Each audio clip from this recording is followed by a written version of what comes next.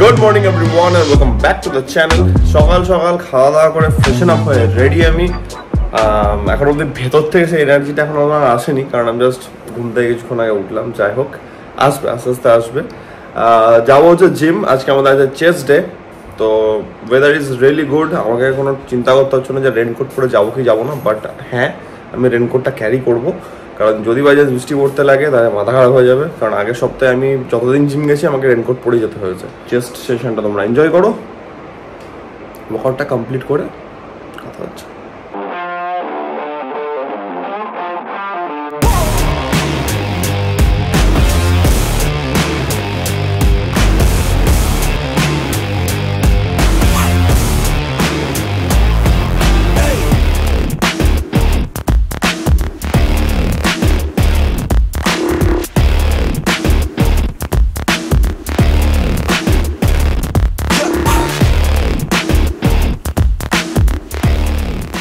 বাড়ি চলে এসেছি স্নান পুজো হলো একটু রান্না করতে হবে। চিকেনটা করব। আগে কাটাকাটি করি তারপরে রান্নার প্রিপারেশন শুরু হবে। চিকেনটা বাইরে রেখেছে মা একটু ঠান্ডাটা একটু কমে গেছে। ডিফ্রস্ট হয়েছিল অসুবিধা নেই। তো আপাতত রান্নাটা করতে হবে আমাকে। হ্যাঁ, আমি ভাবছি একটা কাজ করব। চুলটাকে একটু এত বড় যেটা হয়ে আছে সেটাকে একটু কমাবো। মানে একটু কমাতে হবে। তাহলে হবে না মনে হচ্ছে। স্টিল ডিসাইডিং যে কী করা যেতে পারে। বাট কিছু একটা করতে হবে চুলটাকে নিয়ে, সেটা আই এম শিওর অনেকদিন হলো। তো দেখি, কারণ বর্ষার টাইম এমনিও স্যাঁতস্যাঁতে ওয়েদার হয়ে থাকছে সবসময়তে। তো ওটা ব্যবস্থা করতে হবে এটার।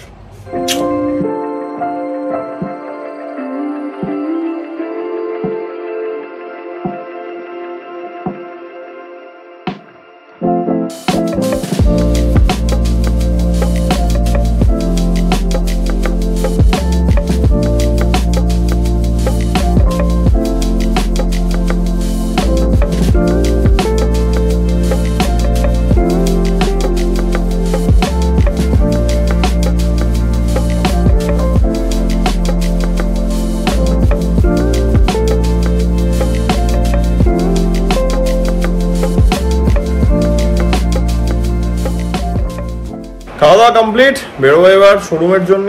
টাইম নিয়ে বেরোচ্ছি কোনো চাপ নেই। কালকে আম কিনলাম একটু আম খাওয়া হচ্ছে। আজকে থেকে আবার। কীভাবে কেটেছো আমগুলোকে? পাঠিটা দিয়েছ নাকি? ভালো করেছ ভালো করেছ। তো যাই হোক ঠিক আছে চলো বেরোই। তাড়াতাড়ি পৌঁছে গেলে ভালো। আবার ওখানে একটু কাজ বাজ আছে ব্যস্ত থাকব তখন। তো হাতে টাইম নিয়ে বেরোনো বেটার লেটস গো তো ফাইনালি আমরা বেরিয়ে পড়েছি।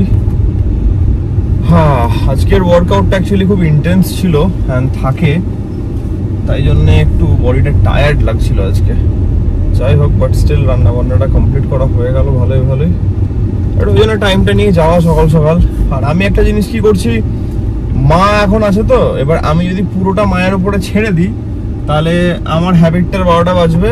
দিয়ে যখন মা থাকবে না, তখন আমার আবার চাপ হবে। তো আমি ওই জন্য রান্নাটা নিজে করছি। না হলে কিন্তু খুব চাপ। কারণ আবার না হলে যদি এখন ল্যাদ খেয়ে যাই, পরে তখন আমারই চাপ হবে। তো যাই হোক, ঠিক আছে। আমরা আজকে ট্রেন করলাম চেস্ট শোল্ডার আর কাফ কাফটাকে বেসিক্যালি আমি এখন উইকে দুবার রাখছি। একটা লেগসের দিন আর একটা আজকে। ঠিকই আছে, ভালো। আর এই উইকে আমাদের হয়তো, আমাদের নর্মালি বৃহস্পতিবার অবধি ট্রেনিংয়ের টাইম থাকে। মানডে টু থার্সডে তারপরে রেস্ট বাট এদিকে হয়তো একদিন মাঝখানে গ্যাপ যেতে পারে। তো ঠিক আছে, অসুবিধা নেই, তোমরা সেটা জানতে পারবে, কোনো চাপ নেই। এখন তো ডেলি ব্লগ আসছে। আমার লিটারেলি কালকে রাত্রেবেলাতে আবার মনে হচ্ছে, ঠিক আছে? যে আচ্ছা কালকে ব্লগ আছে না? কালকে আমি ব্লগ করছি মানে যেটা হয় আর কি, এটা তো হ্যাবিট নেই না? এবার দেখে মনে হচ্ছে, ঠিক আছে ব্লগ করছি, ঠিক আছে বাট এডিট করা ব্লগ রেডি করা, কাজের মাঝখানে বিজনেসের মাঝখানে ব্লগ আপলোড করা, ভাই, বহুত চাপ বহুত চাপ। বাট ঠিক আছে, হয়ে যাচ্ছে, কারণ, যাই হোক, হয়ে যাচ্ছে, একটা ফ্লোতে হয়ে যাচ্ছে সেই জিনিসটা। আর খুব বেশি আমার রাতের ঘুমেও অসুবিধা হচ্ছে না, যেটা আমি আগের দিন তোমাদেরকে বললাম, যে আমি একটা জিনিস করেছি, সেটা হচ্ছে কিন্তু টাইম ম্যানেজমেন্ট আমাকে করতে হয়েছে। বাট টাইম ম্যানেজমেন্ট না করলে ভাই হবে না সব কিছুই ব্যবস্থা করতে হবে, ঘুমটাও দরকার।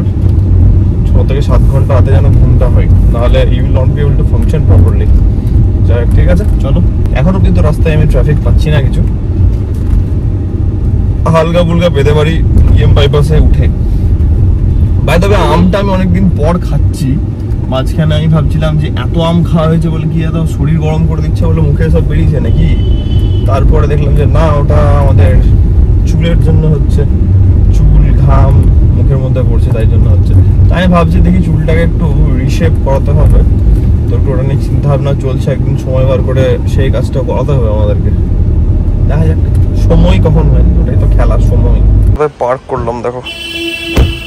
এটার সাইড দিয়ে যাতে এটার মধ্যে না পড়ে।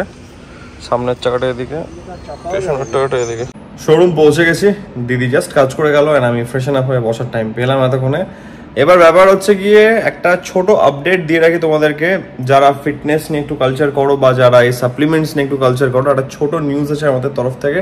সেটা হচ্ছে গিয়ে পুজো আসছে অ্যান্ড দুর্গা পুজো সেল এবার আমাদের শোরুমে লাইভ হতে চলেছে খুব জলদি। এক দুদিনের মধ্যে লাইভ হয়তো হয়ে যাবে। সেটার জন্য তোমরা চেক আউট করতে পারো আমাদের Instagram and Facebook page on the origin of nutrition নামে দুটো জায়গাতেই আছে। গুগলেও সেটা আমরা চেষ্টা করব পোস্ট করে দেওয়ার। হিউজ সেল আসছে অ্যান্ড তোমরা মজা পাবে। তো ডেফিনেটলি ওটা চেক আউট করো, দু একদিনের মধ্যে লাইভ হয়ে যাবে। অ্যান্ড আসার সময় আবার একটু পার্কিং নিয়ে একটু প্রবলেম হচ্ছিল ওখানটাতে। তো পিছনে একটা গাড়ি দাঁড়িয়ে ছিল দেখলে তো তিনটে গাড়ি আছে আমার গাড়িটা নিয়ে।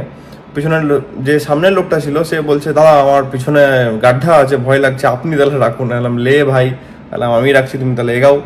দিয়ে তো যাই হোক, রাখলাম আমি ওখানটাতে। কিন্তু এখন কিছু বলার নাই পার্কিংও টাইট হয়ে আছে, সেরকম হলে সামনে রাখতে হতো। বাট যাই হোক, রাখা হয়ে গেছে, কোনো চাপ নেই। আপাতত একটু মা আম দিয়েছে সেই আমটা খাব দিয়ে কাজ বাজ শুরু করব আর না হলে তো ক্রাউড হয়ে গেল তো সেটাও চাপ হয়ে যাবে। ঠিক আছে ব্যাপার. কাজ আর কাজের সঙ্গে সঙ্গে আম অনেক দিন পর। যেখান থেকে আমি ল্যাংড়া আমগুলো নিই ওখানে শেষ হয়ে গেছিল। অনেকদিন পর পেলাম বলে নিলাম।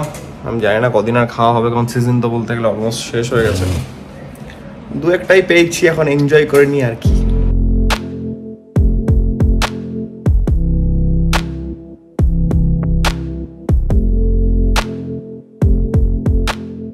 বলো আমাকে ছেড়ে তুমি কি করছিলে বাড়িতে এতক্ষণ? যাক ভালো লাগল শুনে। বাবা। কি করছিলে তুমি এতক্ষণ? ফোন ঘাটছিলে আর কি করছিলে? ফোন তো ঘাটতেই হবে। যখন যতটুকু কাজ ততটুকু করা তারপরে তো ফোন ঘাটা। হ্যাঁ, ফোনটা বড় দিন লাগে তো জাস্ট বাড়ি ঢুকে ফ্রেশন আপ হলাম ফ্রেশন আপ হয়ে একবার ক্যামেরা ধরছি কারণ রাস্তার মধ্যে যা ট্রাফিক থাকছে মাঝে মাঝে কোনো চান্সই নেই গল্প করার। যাই হোক বাড়ি ঢুকলাম ফাইনালি মাম তো বেশ ভালোই এনজয় করে যখন আমি বাড়িতে থাকি না। একা একা হ্যাঁ। ঘাটে একা একা কি এনজয় করা যায় রে? আমি আজকে আমি আজকে হলো? দু ঘণ্টা বাইরে থেকে বেল মারছি মাম খুলছে না দেখছি এসি চালিয়ে ঘুমাচ্ছে মাম। বিশ্বাস করো না ওর মা কখনো উঠতেই পারে না। আমি এক ঘণ্টা তুমি এখন মিথ্যা কথা বললে তো হবে না এক ঘণ্টা দাঁড়িয়েছিলাম আমি বাইরে। লোক জড়ো হয়ে যাচ্ছে বাইরে কি ব্যাপার? দরজা আজ হচ্ছে খুলছে না। ঠিক না এগুলো। এত বড় এত বড় মিথ্যা কথা আমার ধরতি মাও সহ্য করবে না। যাই হোক ঠিক আছে ভাট বকছিলাম। তো ব্যাপার হচ্ছে ডিনার ফিনার করব। কালকে একটু প্ল্যান করছি আমাকে একটা বাইকটাকে বসে নিয়ে যাও। তোতলাচ্ছি কেন কি ব্যাপার? ওয়াশ করতে নিয়ে যাবি? তোতলাচ্ছি কেন আগে সেটা বলো? তারপর। দুদিন তোতলালাম আমি কথা বলতে গিয়ে ব্লগে অমনি হয়ে যায় মাঝে মধ্যে। ভগবান আসলে আমরা কিছু ওদের স্ক্রিপ্টেড আমরা কিছু স্ক্রিপ্টেড করি না ভাই যা হয় একদম অন স্পট তোমরা দেখতে পাও। তো কালকে বাইকটাকে একটু ওয়াশে নিয়ে যাওয়ার প্ল্যান হচ্ছে কারণ একদিন যেদিন আমি বললাম তোমাদেরকে যে বাইকটা নিয়ে বেরিয়েছিলাম বৃষ্টিতে ভিজেছিল প্রচণ্ড কাদা কাদা হয়ে গেছে। তো কালকে একটু আমাকে সব কিছু আগে করে নিতে হবে। তো মামের দায়িত্ব হচ্ছে আমাকে সকালবেলা সাতটায় উঠিয়ে দেবো সাতটায় উঠতে হবে ঘুম থেকে হ্যাঁ? মনে হয় যে আমি বেলা করে না ব্যাপারটা সেটা না ব্যাপারটা সাতটাতে উঠি আমি বাট কালকে যেহেতু ওই তাড়াতাড়ি বেরোতে হবে তাড়াতাড়ি আছে এই সব দিনগুলোতে মেনলি লেটটা হয়। তো এই ওঠাটা কোনো ব্যাপার না কারণ এতদিন সাড়ে ছটাতে উঠছিলাম বাট যেটা হয় আর কি যেদিন কাজ থাকে সেদিনই লেট হয় কোনোভাবে। তো ওটা একটা নিজেকে রিমাইন্ডার দেওয়া যে তাড়াতাড়ি উঠতে হবে। যাই হোক তাড়াতাড়ি খাওয়া দাওয়া কমপ্লিট করি খাওয়া দাওয়া কমপ্লিট করে না জিম আছে বলে তো তাড়াতাড়ি উঠতে হবে। জিম আগে জিম যাব। সে কাজগুলো কমপ্লিট করে তাড়াতাড়ি বাড়ি এসে বাইক ওয়াশ তারপরে শোরুম তো হাতে যেন একটু অ্যাটলিস্ট এক ঘণ্টা রাখা যায় তাই জন্য আমি সেরকম ভাবে তাড়াতাড়িটা করছি। আমাকে তো তোর জন্য এক পায়ে দাঁড়িয়ে থাকতে হয় সব সময় এক পায়ে তুমি দাঁড়িয়ে থাকো না তোমার হ্যাঁ। বাবু কখন আসবে? এই বাবু চলে এলো এই বাবু আমার পুজো হয়নি। এই তোমাকে তো আমি ফোন টোন করে দেবো অসুবিধা কি আছে? শান্ত হও আর তুই যখন যাবি তখন ওই বাইরের চাবিটা নিয়ে যাবি এই চাবিটার টেনশনে আমার খুব চাবি নিয়ে যাব, তাড়াতাড়ি। তো খেয়ে দাও খেয়ে দাও খেয়ে নি। হ্যাঁ, তো তাড়াতাড়ি খাবারটা খেয়ে নি ডিনার করে রেস্ট নেব শোবো। ভ্লগ আপলোড করার ব্যাপার আছে অবভিয়াসলি তোমরা জানো ডেলি ভ্লগ করছি, যেটা হচ্ছে ওটাই দেখাচ্ছি। আশা করছি আজকের এই ভ্লগটা তোমাদের ভালো লেগেছে। অ্যান্ড যদি ভ্লগটা ভালো লাগে থাকে, তাহলে as usual to like share and subscribe তোমরা জানো, বলার কিছু নেই। দেখা হচ্ছে কালকে। Till then take care be safe bye good night আমি বহুত টায়ার্ড আছি। খাব, খেয়ে ব্লগ এডিট করব, খেয়ে ঘুমাবো। দাদা